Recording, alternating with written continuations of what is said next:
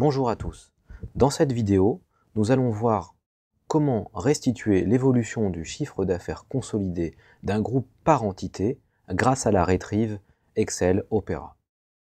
Cliquez sur l'icône Excel depuis le portail Opera.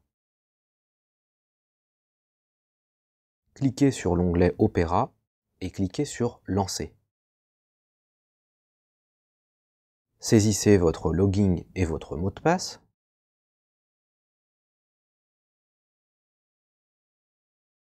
Cliquez sur Insérer des valeurs. Vous pourrez ainsi retrouver plus facilement le code de vos rubriques, de vos entités, de vos reporting et toutes les dimensions que vous souhaiterez utiliser. Cliquez sur la lettre A. Cherchez dans la liste des rubriques de restitution la rubrique R720 qui regroupe tous les comptes de chiffre d'affaires cliquez sur la flèche au centre, cliquez sur Insérer en ligne, puis OK. Cliquez sur la lettre I pour sélectionner les exercices de consolidation que vous souhaiterez comparer. Dans mon exemple, je sélectionne les exercices de 2013 à 2016-12. Insérez-les en colonne décochant les libellés. Les exercices sont souvent changés et il est donc inutile d'afficher les libellés en dur.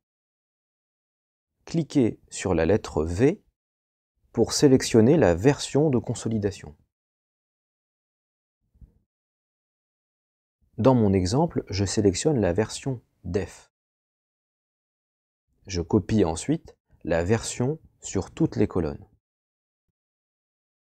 cliquez sur la lettre F pour sélectionner le flux. Comme il s'agit d'analyser des indicateurs de résultats, je sélectionne le flux F99. Copiez le flux sur toutes les colonnes. Voilà, mon tableau est presque fini, il ne me reste plus qu'à appuyer sur le bouton Définir pour que la Retrieve relie tous ces axes et établisse des liens avec la base de données Opera. Lorsque je clique sur Définir, une nouvelle fenêtre apparaît. Sélectionnez les informations qui sont en colonne, c'est-à-dire l'exercice, la version, le flux, et cliquez sur le carré en face de la colonne. Sélectionnez les informations qui sont en ligne, c'est-à-dire le compte, et cliquez sur le carré en face de ligne. Sélectionnez les montants consolider et appuyer sur Définir. Comme vous le voyez, Opera a créé une formule Excel qui croise toutes les dimensions que vous avez sélectionnées. Il ne reste plus qu'à appuyer sur le bouton Rafraîchir pour que les données apparaissent. Maintenant, je vous propose de faire un petit peu de mise en page. Utilisez notamment la fonction STXT droite pour afficher la date de l'exercice de façon succincte.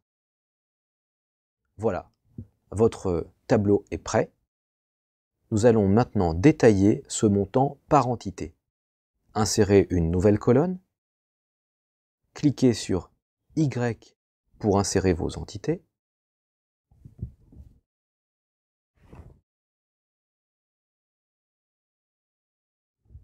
Voilà, vos entités sont insérées dans le tableau.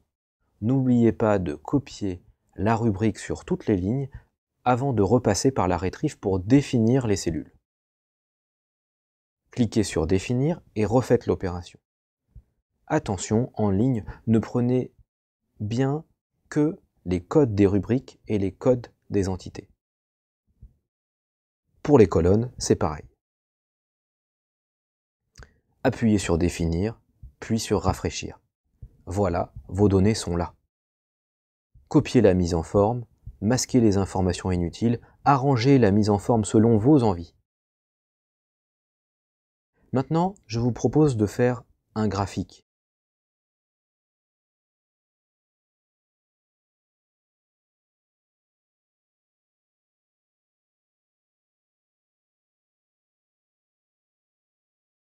Je précise que vous pouvez changer les dates directement en haut et actualiser. Vous pouvez aussi mettre une série de formules Excel pour que les dates s'actualisent automatiquement en fonction du dernier reporting. Maintenant, pourquoi ne pas envoyer votre tableau par email à vos collègues? Cliquez sur le bouton Send Email. Voilà, cette vidéo d'initiation à la retrieve est terminée. Je vous remercie pour votre attention et à bientôt sur la chaîne Amelkis.